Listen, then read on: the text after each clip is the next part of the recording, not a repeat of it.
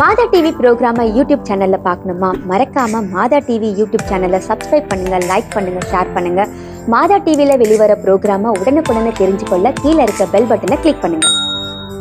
ஆண்டவருடைய ஆவி என்மேல் உள்ளது. ஏனெனில் அவர் எனக்கு அருள் பொழிவு செய்துள்ளார். ஏழைகளுக்கு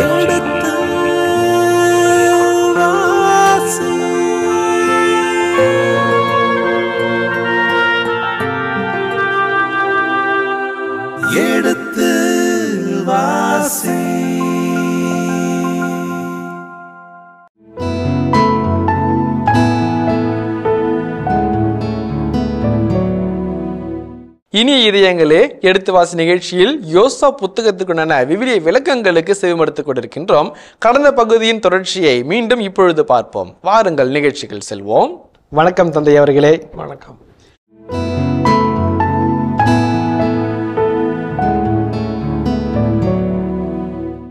அஹ் இதில் ஒவ்வொருவருக்கும் பங்கு இருக்கிறது. எல்லா குலங்களும் இதிலே பங்கு கொள்கின்றன. எல்லா குலங்களும் இந்த குருக்களை கவனிக்க வேண்டியது நமது பொறுப்பு என்று அப்படி செய்கின்ற பொழுது அந்த லேவிய குலத்தாரை சார்ந்தவர்களுக்கும் ஒரு தனி உரிமை என்பது என்று ஒன்று கிடைப்பதாக நாம் புரிந்து கொள்கிறோம். ஆனால் இவை அனைத்துமே ஆண்டவருடைய கட்டளைப்படி நடந்தன. அவர் கொடுத்த வாக்குகளை நிறைவேற்றினார் என்று இது அழைத்து சொல்லப்படுகிறது.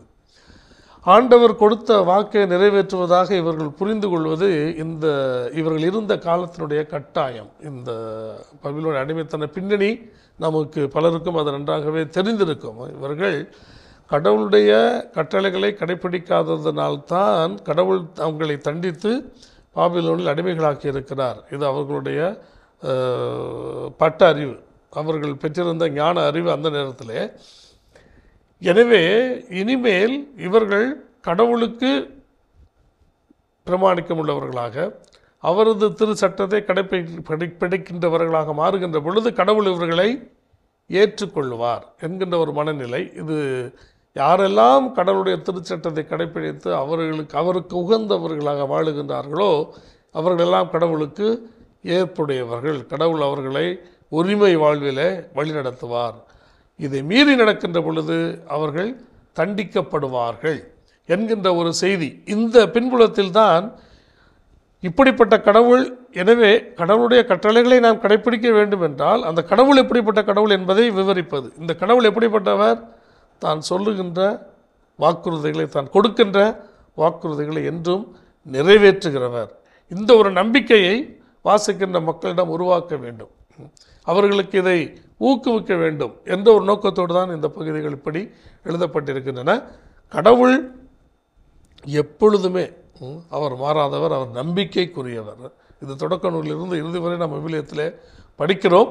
அந்த செய்தியை இந்த மக்களுக்கு இந்த சூழ்நிலையில் இருக்கிற மக்களுக்கு இதை உணர்த்துவதாக இந்த பகுதிகள் எழுதப்பட்டிருக்கின்றன. எனவே இதில் எல்லோரும் எல்லோருக்கும் இதில் பங்கு உண்டு எல்லோருக்கும் இதில் இடம் உண்டு. இஸ்ரேல் மக்களுக்கு மட்டுமல்ல பிற இனத்தவருக்கும் கடானேயருக்கும் எல்லோருக்குமே இதில் பங்கு உண்டு என்பதை உணர்த்துவதாகவும் பல்வேறு இடங்களில் செய்திகள் நமக்கு சொல்லப்படுகின்றன. எனவே இந்த சிந்தனைகளோடு இந்த பிரிவை பிரிவு இருபத்தி ஒன்றை நாம் தனிமையில் இதை வாசித்து இன்னும் நல்ல ஆழமான பயனை பெறுவோம்.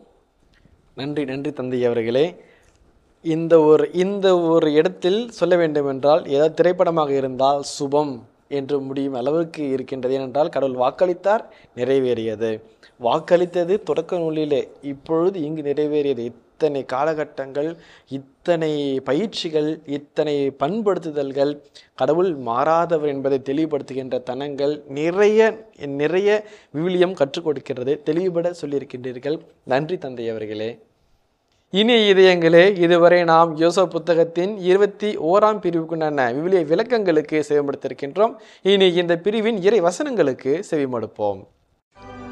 யோசுவா ஆகமம். அதிகாரம் இருபத்தொன்று.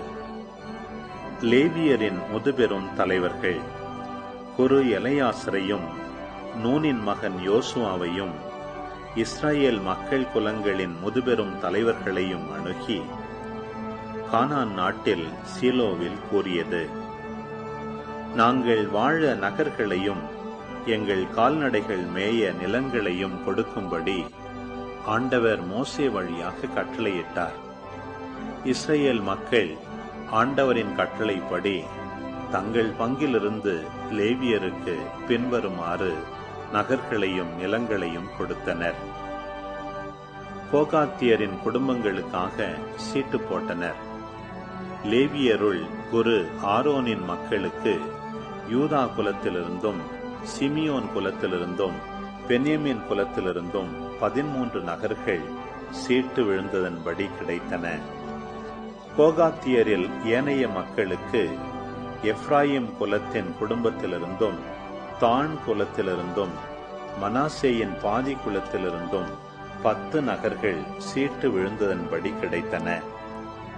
கேர்சோன் மக்களுக்கு இசக்கார் குலத்தின் குடும்பங்களிலிருந்தும் ஆசேர் குலத்திலிருந்தும் நப்தலி குலத்திலிருந்தும் பாசானிலிருந்த மனாசேயின் பாதி குலத்திலிருந்தும் பதிமூன்று நகர்கள் சீட்டு விழுந்ததன்படி கிடைத்தன. மெராரியின் மக்களுக்கு அவர்கள் குடும்பங்களுக்கு ஏற்ப ரூபன் குலத்திலிருந்தும் காத்து குலத்திலிருந்தும் செபுலோன் குலத்திலிருந்தும் பன்னிரு நகர்கள் கிடைத்தன. ஆண்டவர் மோசே வழியாக கட்டளையிட்டபடி சீட்டு போட்டு இஸ்ரேல் மக்கள் லேவியருக்கு இந்நகர்களையும் மேய்ச்சல் நிலங்களையும் அளித்தனர். யூதா மக்களின் குலத்திலிருந்தும் சிமியோன் மக்களின் குலத்திலிருந்தும் கொடுக்கப்பட்ட நகர்களின் பெயர் பட்டியல். லேவியரின் மக்கள் கோகாத்தியரின் குடும்பத்தை சார்ந்த ஆரோனின் மக்களுக்கு முதல் சீட்டு விழுந்ததால் அவர்களுக்கு பின்வருமாறு நகர்கள் கிடைத்தன. யூதா மலைநாட்டில் உள்ள எபிரோன் என்னும் கிரியத்து அர்பாவை சுற்றியுள்ள மேய்ச்சல் நிலம் அவர்களுக்கு கிடைத்தது. அர்பா ஆனாக்கின் தந்தை நகரின் விளைநிலமும் அதன் சிற்றூர்களும் எபுன்னேயின் மகன் காலேபுக்கு உடமையாக கிடைத்தன. குரு ஆரோனின் மக்களுக்கு கிடைத்தவை. கொலையாளியின் அடைக்கல நகரான எபிரோன் அதன் மேய்ச்சல் நிலங்கள். லிப்னா அதன் மேய்ச்சல் நிலங்கள். யாத்தேர் அதன் மேய்ச்சல் நிலம். யசுத்தமோவா அதன் மேய்ச்சல் நிலம். கோலோன் அதன் மேய்ச்சல் நிலம். தெபீர் அதன் மேய்ச்சல் நிலம். ஐயன் அதன் மேய்ச்சல் நிலம். யொற்றா அதன் மேய்ச்சல் நிலம் பெத்சமேசு அதன் மேய்ச்சல் நிலம் ஆக இவ்விரு குலங்களினின்று ஒன்பது நகர்கள். பெனேமின் குலத்திலிருந்து கொடுக்கப்பட்டவை.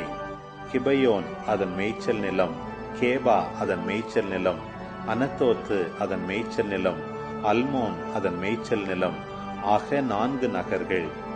குரு ஆரோனின் மக்களுக்கு கிடைத்தவை மொத்தம் பதிமூன்று நகர்களும் அவற்றின் மேய்ச்சல் நிலங்களும். லேவியரை சார்ந்த கோகாத்தின் ஏனைய குடும்பங்களுக்கு எப்ராயிம் குலத்தின் உடைமைகளிலிருந்து நகர்கள் சீட்டு விழுந்ததன்படி கொடுக்கப்பட்டன. அவர்களுக்கு கிடைத்தவை கொலையாளியின் அடைக்கல நகரான எப்ராயிம். மலையில் அமைந்துள்ள செக்கேம் நகர் அதன் மேய்ச்சல் நிலம். கெசேர் அதன் மேய்ச்சல் நிலம். கிபட்சையும் அதன் மேய்ச்சல் நிலம். பெத்கோரோன் அதன் மேய்ச்சல் நிலம். ஆக நான்கு நகர்கள். தானின் குலத்திலிருந்து கிடைத்தவை. எல்தகே அதன் மேய்ச்சல் நிலம். கிபத்தோன் அதன் மேய்ச்சல் நிலம். ஐயலோன் அதன் மேய்ச்சல் நிலம். கத்ரிமோன் அதன் மேய்ச்சல் நிலம். ஆக நான்கு நகர்கள். மனாசேயின் பாதி குலத்திலிருந்து கிடைத்தவை. தானாக்கு அதன் மேய்ச்சல் நிலம். கத்ரிமோன் அதன் மேய்ச்சல் நிலம். ஆக இரண்டு நகர்கள். இவ்வாறு கோகாத்தின் எஞ்சிய குடும்பங்களுக்கு பத்து நகர்களும் அவற்றின் மேய்ச்சல் நிலங்களும் அளிக்கப்பட்டன. லேவியரின் குடும்பத்தை சார்ந்த கேர்சோனின் குடும்பங்களுக்கு மனாசேயின் பாதி குலத்திலிருந்து கிடைத்தவை. கொலையாளியின் அடைக்கல நகரான பாசானில் கோலான் அதன் மேய்ச்சல் நிலம். பேசுதரா அதன் மேய்ச்சல் நிலம். ஆக இரண்டு நகர்கள். இசக்காரின் குலத்திலிருந்து கிடைத்தவை. கிசியோன் அதன் மேய்ச்சல் நிலம். தாபராத்து அதன் மேய்ச்சல் நிலம். யார்முத்து அதன் மேய்ச்சல் நிலம். ஏன் கன்னேம் அதன் மேய்ச்சல் நிலம். ஆக நான்கு நகர்கள். ஆசேரின் குலத்திலிருந்து கிடைத்தவை. மிசால் அதன் மேய்ச்சல் நிலம். அப்தோன் அதன் மேய்ச்சல் நிலம். எல்காத்து அதன் மேய்ச்சல் நிலம். ரக்கோபு அதன் மேய்ச்சல் நிலம். ஆக நான்கு நகர்கள். நப்தலி குலத்திலிருந்து கிடைத்தவை. கொலையாளியின் அடைக்கல நகரான கலிலேயாவின் கெதேசு அதன் மேய்ச்சல் நிலம் அம்மோத்தோர் அதன் மேய்ச்சல் நிலம் காத்தான் அதன் மேய்ச்சல் நிலம் ஆக மூன்று நகர்கள். இவ்வாறு கேர்சோனின் குடும்பங்களுக்கு கிடைத்தவை இப்பதிமூன்று நகர்களும் அவற்றின் மேய்ச்சல் நிலங்களும். எஞ்சிய லேவியருள் மெராரி மக்களின் குடும்பத்தினருக்கு செபுலோன் குலத்திலிருந்து கிடைத்தவை. யோக்னயாம் அதன் மேய்ச்சல் நிலம் கர்த்தா அதன் மேய்ச்சல் நிலம் திம்னா அதன் மேய்ச்சல் நிலம் நகலால் அதன் மேய்ச்சல் நிலம் ஆக நான்கு நகர்கள். ரூபன் குலத்திலிருந்து கிடைத்தவை பெட்சேர் அதன் மேய்ச்சல் நிலம் யாகசு அதன் மேய்ச்சல் நிலம் கெதமோத்து அதன் மேய்ச்சல் நிலம் மேபாத்து அதன் மேய்ச்சல் நிலம் ஆக நான்கு நகர்கள். காத்து குலத்திலிருந்து கிடைத்தவை கொலையாளியின் அடைக்கல நகரான கிளையாத்து ராமோத்து அதன் மேய்ச்சல் நிலம் மகனையும் அதன் மேய்ச்சல் நிலம் எஸ்போன் அதன் மேய்ச்சல் நிலம் யாசேர் அதன் மேய்ச்சல் நிலம் ஆக நான்கு நகர்கள். இவ்வாறு எஞ்சிய லேவியருள் மெராரி குடும்பங்களுக்கு சீட்டு விழுந்ததன்படி கிடைத்த மொத்த நகர்கள் பன்னிரண்டு. இஸ்ரேல் மக்களுக்குரிய நிலப்பகுதியில் லேவியருக்கு ஆங்காங்கே விடப்பட்டவை நாற்பத்தெட்டு நகர்களும் அவற்றின் மேய்ச்சல் நிலங்களும். எல்லா நகர்களை சுற்றிலும் மேய்ச்சல் நிலங்கள் இருந்தன. இவ்வாறு ஆண்டவர் அவர்கள் மூதாதையருக்கு கொடுப்பதாக வாக்களித்த நாடு முழுவதையும் இஸ்ரேலுக்கு கொடுத்தார். அவர்கள் அதனை உடமையாக்கிக் கொண்டு அதில் வாழ்ந்தார்கள். அவர்கள் மூதாதையருக்கு வாக்களித்தபடி ஆண்டவர் அவர்களுக்கு நாட்டின் எல்லை எங்கும் அமைதி நிலவச் செய்தார். பகைவர்களில் எவனாலும் அவர்களை எதிர்த்து நிற்க இயலவில்லை. கடவுள் அவர்களுடைய பகைவர்களை அவர்கள் கையில் ஒப்படைத்தார். ஆண்டவர் இஸ்ராயேல் வீட்டாருக்கு உரைத்த எல்லா நல்வாக்குகளும் தவறாமல் நிறைவேறின.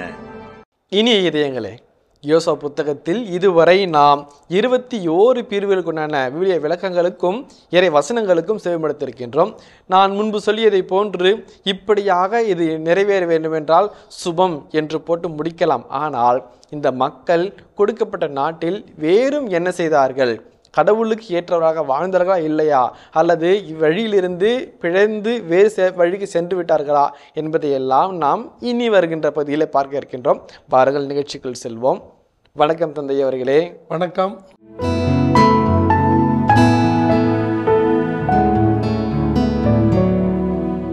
கடவுளை பற்றி நீங்கள் விவிலியம் தெளிவர சொல்லியிருக்கின்றது அவர் மாறாத கடவுள் என்று.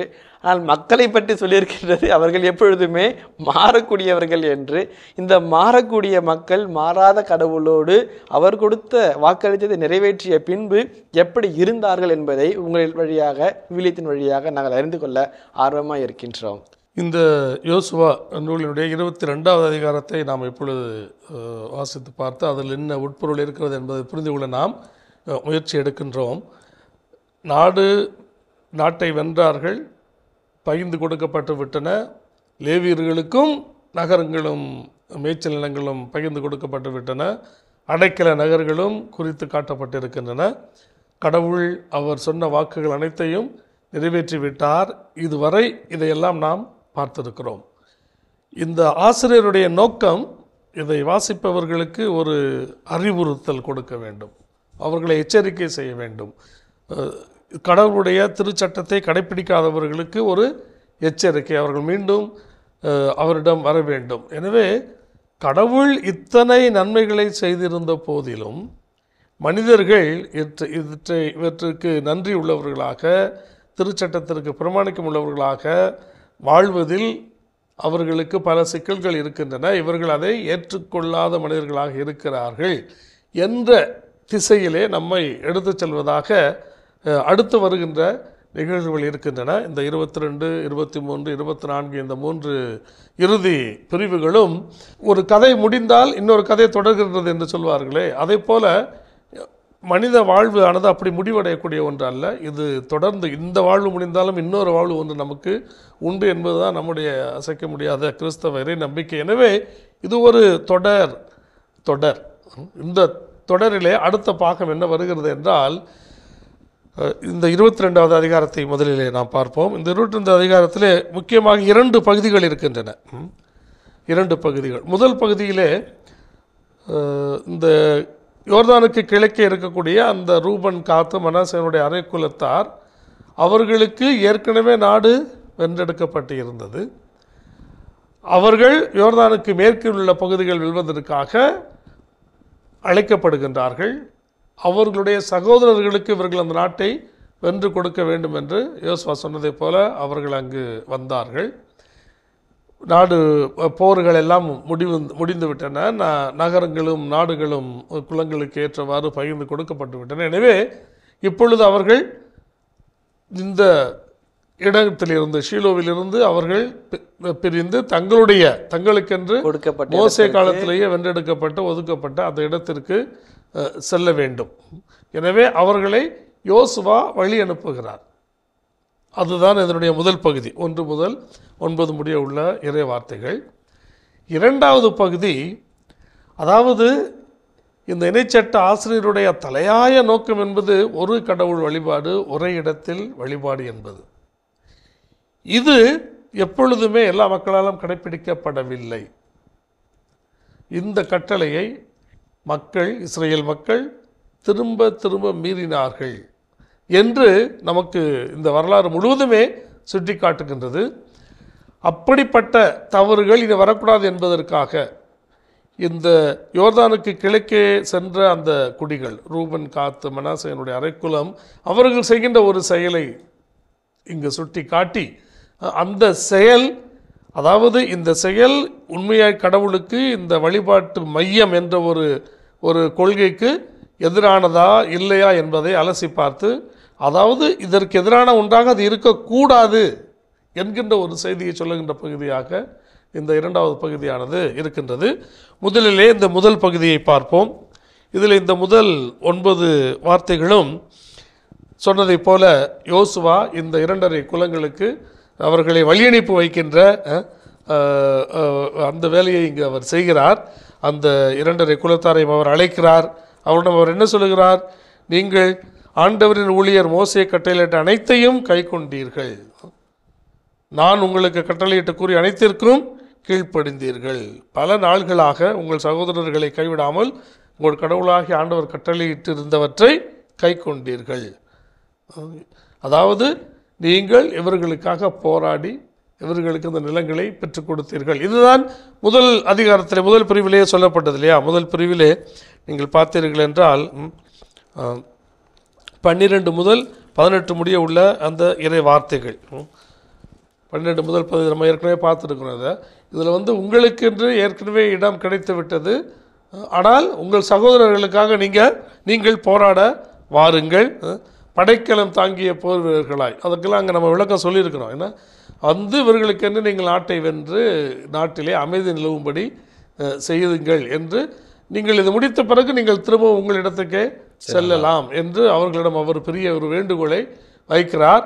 அவர்களும் அதை ஏற்றுக்கொள்ளுகிறார்கள். அந்த பதினாறு பதினேழு பதினெட்டு வார்த்தைகளை பார்த்தோம் என்று நாங்கள் மோசேவுக்கு கட்டுப்பட்டு நடந்ததைப் போலவே உமக்கும் கீழ்ப்படிந்து நடப்போம். நீர் சொல்லுகின்ற கட்டளையை கீழ்ப்படி அதற்கு அதற்கு கீழ்ப்படிய விரும்பாதவன் எவனும் உயிருடன் இருக்கக்கூடாது என்றெல்லாம் சொல்லி இவர்கள் இந்த கட்டளையை ஏற்றுக்கொள்ளுகிறார்கள். ஏற்று அதை இப்பொழுது அதை அவர்கள் செய்து முடித்து விட்டார்கள். எனவே தான் இயேசுவா அவர்களை அழைத்து இதை சொல்லுகிறார். இப்போது இது அமைதி காலம். கடவுள் அமைதி காலத்தை அளித்திருக்கிறார். எல்லா மக்களுக்கும் அமைதி காலத்தை. எனவே நீங்கள் உங்கள் கூடாரங்களுக்கு அதாவது யோர்தானுக்கு அப்பால் ஆண்டவரின் ஊழியர் மோசே உங்களுக்கு கொடுத்த அந்த இல்லங்களுக்கு நீங்கள் செல்லுங்கள். அவர் சொல்லுகின்ற செய்தியிலே முதல் செய்தி அதுதான். உங்களுக்குரிய இடத்திற்கு நீங்கள் செல்லுங்கள் என்று இந்த செய்தி சொல்லப்படுகிறது. அடுத்து இரண்டாவதாக சொல்லப்படுகின்ற செய்தி நீங்கள் உங்கள் முழு இதயத்தோடும்.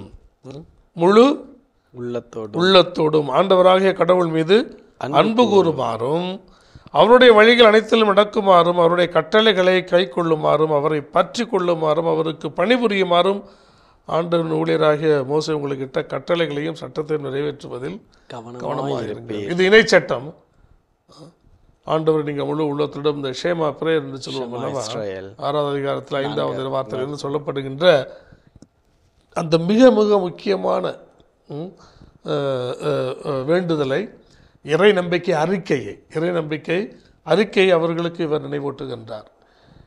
மற்ற நீங்கள் வென்றீர்கள் வந்தீர்கள் இப்பொழுது நீங்கள் செல்லலாம். ஆனால் இவை எல்லாவற்றிற்கும் அடிப்படையாக இருப்பது இந்த யாவை மீது உள்ள இறை நம்பிக்கை. இந்த முழு உள்ளத்தோடும் முழு ஆன்மாவோடும் முழு இதயத்தோடும் கடவுளை அன்பு செய்ய வேண்டும் என்று கொடுக்கப்படுகின்ற கட்டளை இந்த இஸ்ரேல் மக்களுடைய வாழ்க்கையோடு தொடர்புடைய கட்டளைகள். அவரை நீங்கள் தொடர்ந்து அன்பு செய்ய வேண்டும். ஏனென்றால் அவர் நமக்கு விடுதலை கொடுத்திருக்கிறார். இனி இதயங்களே எடுத்து வாசி நிகழ்ச்சியில் பருவம் இரண்டில் யோசோ புத்தகத்திற்குண்டான விவிலிய விளக்கங்களுக்கும் இறை வசனங்களுக்கும் செயல்படுத்திக் கொண்டிருக்கின்றோம். இதன் தொடர்ச்சியை மீண்டும் அடுத்த பகுதியில் பார்ப்போம். அதுவரை இணைந்திருங்கள். இயேசுவுக்கே புகழ். மரியே வாழ்க. இந்த சட்டங்கள் இறை உறவுக்கான நிபந்தனைகள் அல்ல. உடன்படிக்கைக்கு நிபந்தனைகள் அல்ல. கடவுள் மனிதனை மனிதனோடு உலகத்தோடு இயற்கையோடு உறவு கொள்ளுகிறார். அவர் அந்த உறவிலே தான் இருக்கிறார். அதில் அவர் என்றும் பிரமாணிக்கமாக இருக்கிறார். கணானியர்களை அழிக்கும்படி கூறி அவர்களுடைய பொருட்களை இவர்கள் எடுத்துக்கொண்டு செல்லும்படி சொல்வதற்கான காரணம் என்னவென்றால் இவர்கள் பாதிக்கப்பட்ட ஒரு மக்கள் மக்களிடம் பிற தெய்வ நம்பிக்கைகள் வழிபாட்டு முறைகளை அழிப்பதிலே ஒரு தீவிரமான மனிதராக இருந்திருக்கிறார்.